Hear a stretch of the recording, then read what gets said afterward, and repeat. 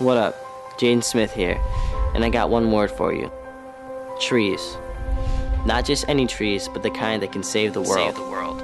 Earth is our home, and we gotta treat it right, or else it's gonna kick us out.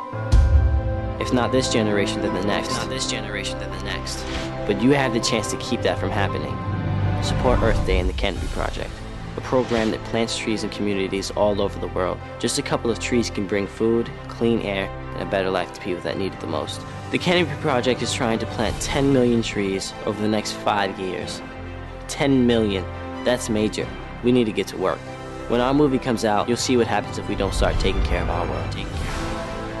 Check out After Earth, Change the World Today by donating to the Canopy Project. By donating to the Canopy